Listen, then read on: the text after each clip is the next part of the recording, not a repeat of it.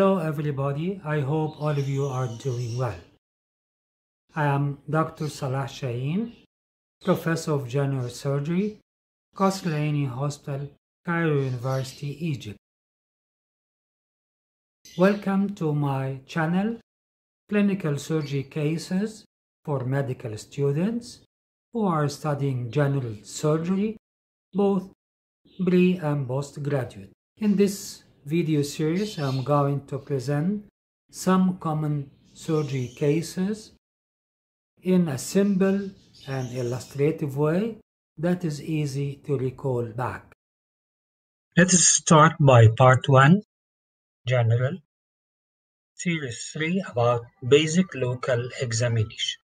Before you start watching videos in my channel about clinical surgery cases, you must master the following basic physical examinations. Number one, how to examine a swelling, being the most common general surgical referral to the outpatient clinics. Number two, how to examine an ulcer. Also, you have to know how to examine patients presenting with sinuses or fistulae. Lastly, you have to know how to examine and describe a scar or keloid if there's. Now, let's start the general swelling sheet 1.3.1. This is episode 1. Different items like history taking, examination, diagnosis, differential diagnosis, etc. should be covered. Let us start by the important general remarks.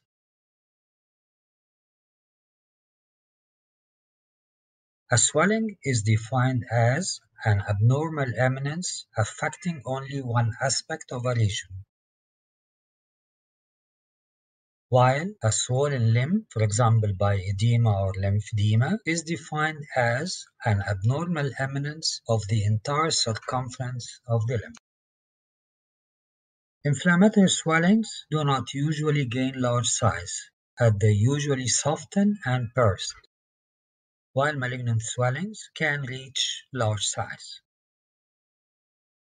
Another important note is that cystic degeneration in chronic granulomatous diseases is central, but in malignant tumors it occurs in an eccentric manner.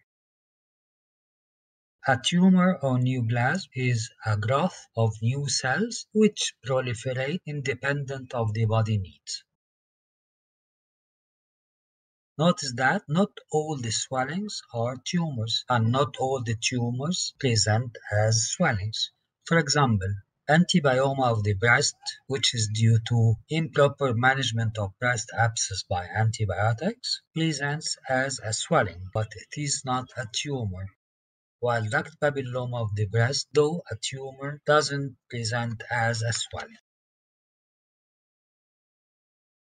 Benign tumors proliferate slowly with little evidence of mitosis. And malignant tumors proliferate fast with evident mitosis and invasiveness to the surrounding tissue. Lastly, sarcomas usually affect young people, while carcinomas occur mostly in the elderly, but the reverse is quite common. Etiology or classification of swellings can be discussed under the famous five groups, mainly congenital, traumatic, inflammatory, neoplastic, and others. Congenital swellings are generally present at birth, for example, a congenital hernia, hemangioma especially the cavernous type, cystic hygroma, and meningocele. Few congenital swellings may appear later like branchial cyst, dermoid cyst, thyroglossal cyst, although they present since birth, but they need time to fill by secretion. As regards the traumatic swellings, they usually develop after a history of trauma, like hematoma, fracture with displacement, dislocation, rupture of a muscle. Torsion testis is a special traumatic swelling. Inflammatory swellings may be acute or chronic. Usually the acute inflammatory swellings are non-specific, while the chronic ones are usually specific. Examples of acute non-specific inflammatory swellings are cellulitis, acute abscess. Acute inflammatory swellings present with the five cardinal manifestations of inflammation, which are calor or local hotness, rubor or local redness, tumor or swelling, dolor or pain, and functio which is loss of function of the part affected.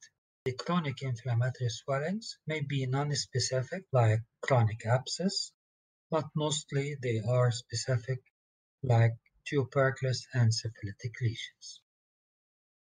A rapidly growing sarcoma, for example osteosarcoma, may mimic an acute inflammatory swelling, but edema, hectic fever, acute lymphadenitis, and leukocytosis with shift to the left are in favor of acute inflammatory process. Hectic fever, fluctuation, or pitting edema over a red area are suggestive of pus formation.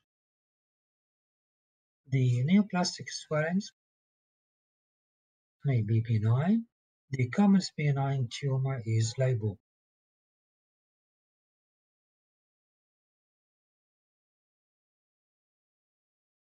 Malignant tumor may be of epithelial origin like carcinoma or mesodermal origin like sarcoma.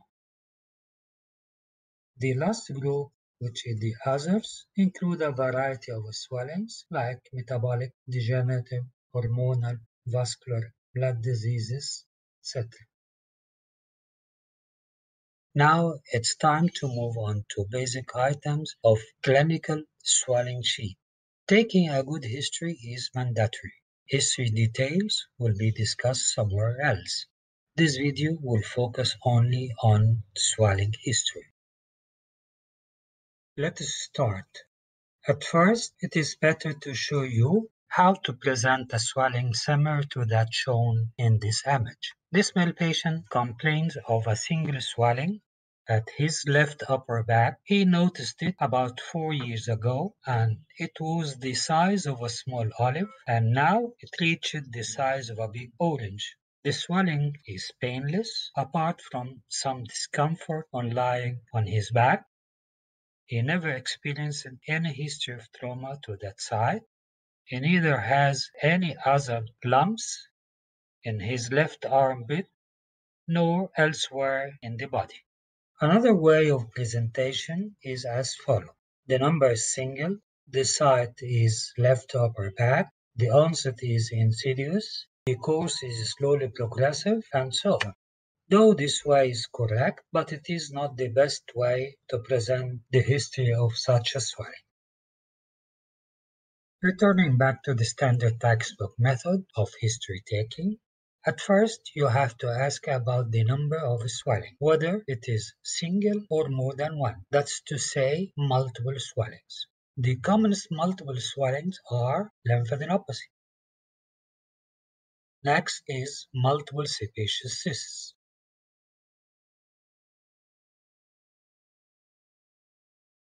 Other multiple swellings include multiple lipomata, multiple neurofibromatosis, multiple myelomas, multiple exostosis, etc. Next, ask about the site of the swelling. You have to determine the side affected, whether it is right or left side, and the location of the swelling. This is very helpful in making anatomical diagnosis. For example, the common swelling affecting the front of the neck is thyroid gland enlargement or goiter. Swellings affecting the side of the neck are mostly lymphadenopathy or enlargement of the lateral lobe of the thyroid gland.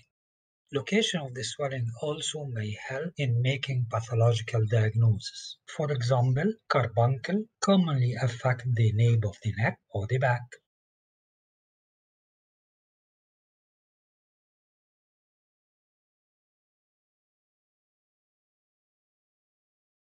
Sequestration dermoid cyst occurs at the lines of fusion. In the face, it may be external angular or internal angular dermoid. Also, there is post-auricular or pre-auricular cysts.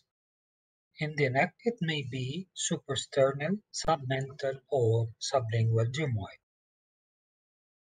Another example is dorsal ganglion. This is commonly affect the dorsum of the hand or the wrist and also the dorsum of the foot. Next, inquire about onset cause and duration. You may ask, how long is the lump present? Or, when was the lump first noticed? A big difference exists between the two questions. The patient may first notice a lump, for example, about three months ago, while the lump had been there for months or even years before the patient had noticed. So don't say the swelling first appeared three months ago when you mean it was first noticed three months ago.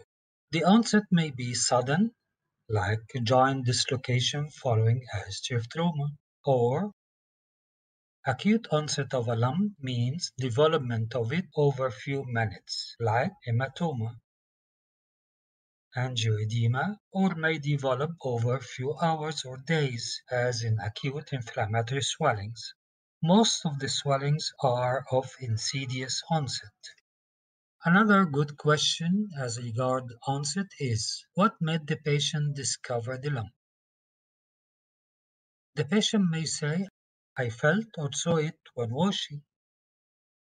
The person may say, I noticed the lump on looking into a mirror, or I had a pain and found the lump when I felt the painful area. The patient may say someone else, like a doctor, a relative, or a friend, had noticed it and told me about it. All these are considered accidental discovery of a swelling and not a sudden onset. One of the common presentation of a breast lump is that the patient may say, I found the lump on self-examination. In general, the swellings are either appear spontaneously or on top of a pre-existing lesion. For example, keloid on top of a scar, also a malignant melanoma on top of a nevus or a birthmark. A swelling may follow a history of previous trauma, like a keloid developing on top of ear piercing. Notice that congenital swellings are either appear at or near birth, for example, exomphalus, congenital hernia, etc., or may appear later even up to the age of 20s, like the polycystic kidney, branchial cyst, paraglossal cyst. All these need time for the cyst to be filled by fluids. As regards the cause of a swelling, you may ask the following question. Has the lump changed since it was first noticed? You can suggest progressive course when the lump has got bigger, this may be rapidly progressive over a few days as in acute inflammatory swellings, or it may take few weeks or months as neoplasms and chronic inflammatory swellings. The course may be regressive, which means the lump has got smaller. This is commonly occur in inflammatory, traumatic, or allergic lumps. Of course, this regression occurs after a period of progression. Most of the chronic lumps are of a stationary course. A special pattern is the fluctuating course. For example, the intermittent course is seen in patients with physiologic goiters. Another type is remissions and exacerbations, typically seen in patients with primary toxic goiter. In chronic submandibular sialadenitis, a swelling appears on eating food, especially those with bitter taste, and this swelling is associated with pain. These are usually relieved or disappear one to two hours after eating. The swelling may show recent change in size, and this is usually suggestive of secondary changes like hemorrhagenesis, secondary degeneration of the mass on top of acute inflammatory and this usually takes few days And lastly, malignant transformation, which usually takes few weeks.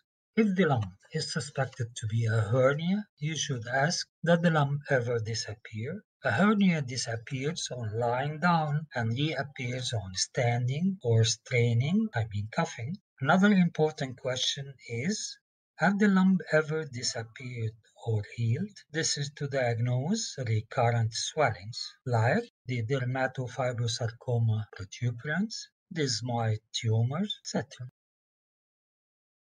An important question you should ask is, what symptoms does the lump cause? A lump may be painful, disfiguring, interfering with movement, breathing, swallowing, and much more. Describe the history of each symptom carefully. Let's start by pain. Refer to general sheet to know how to analyze pain. In general, acute inflammatory swellings are associated with pain. The pain usually precedes the onset of the swelling.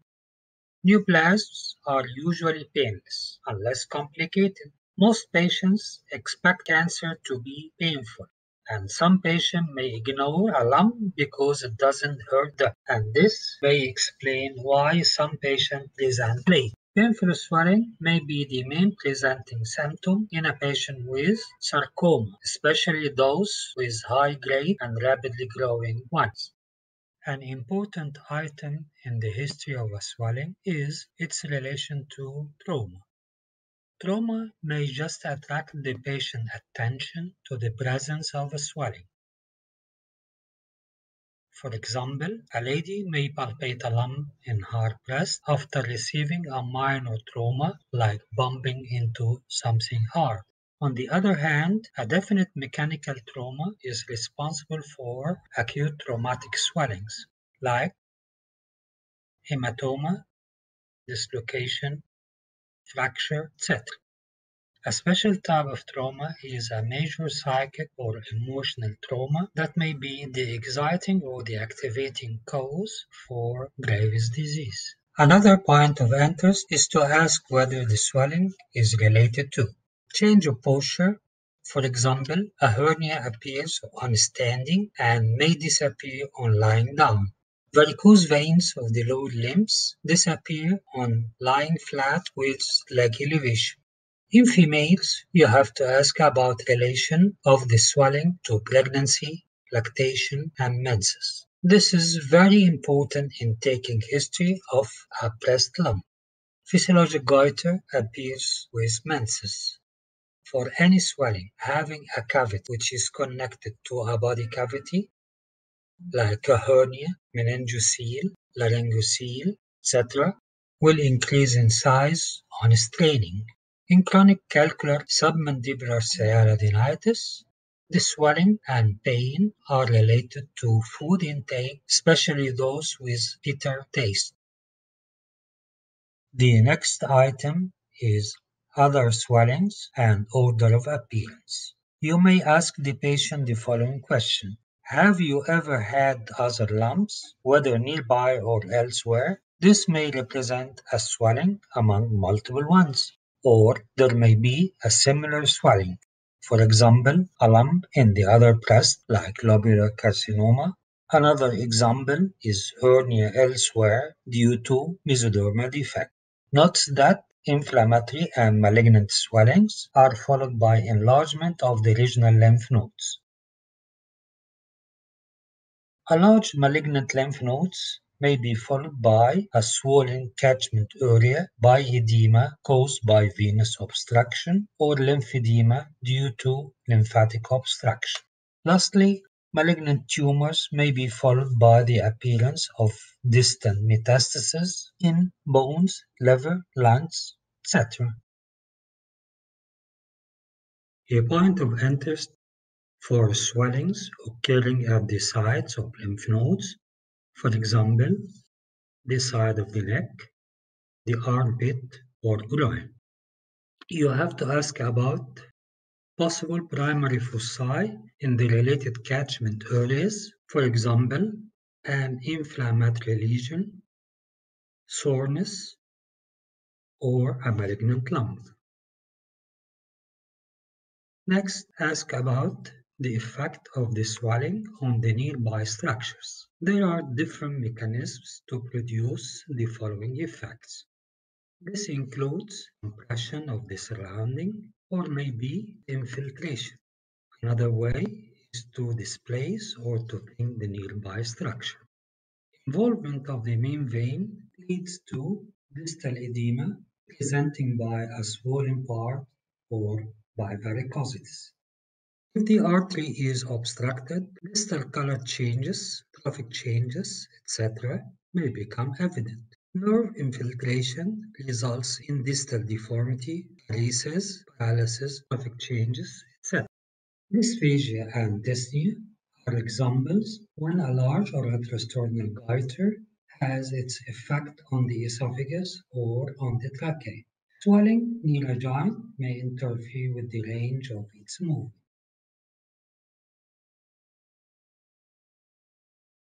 Next step in history of swelling is to ask about the associated symptoms. Pain is by far the most important associated symptom, and usually the patient presents with this complaint. Actually, it is the pain that brings the patient to the physician. Patients may not give a history of other symptoms, so you have to ask relevant questions to identify any symptom associated with the lung. For example, inquire about associated fever. Its presence suggests infection. Hematoma is associated with fever due to blood absorption. If the fever is hectic, the possibility of acute abscess must be considered.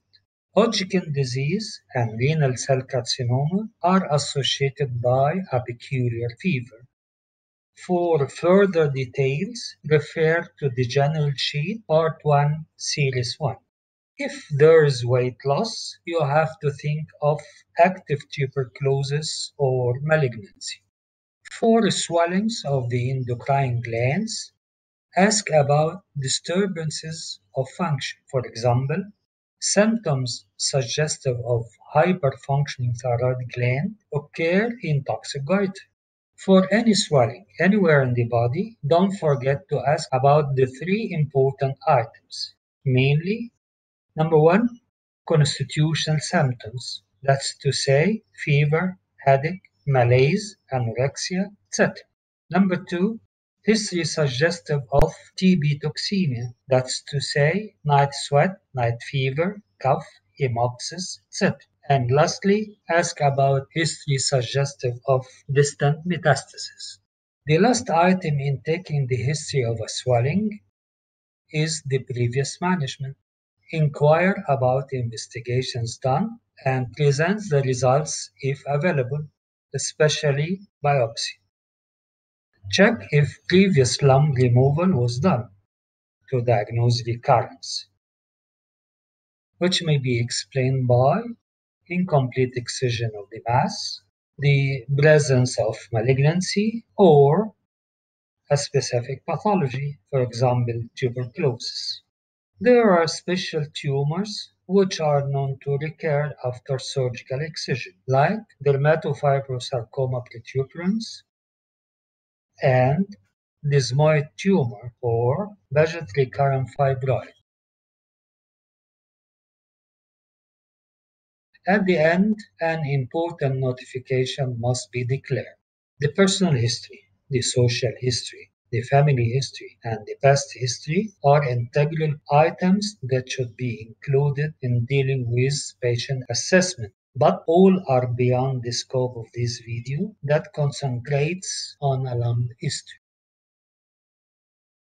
Thank you for watching this video. I hope it was simple, clear and to the point. If you feel such that, please give a big thumbs up and share it with your friends. If you want to watch more such videos, please consider subscribing to my channel. Don't forget to hit the bell so you will be notified whenever I post a new video in my channel. See you next video and good luck.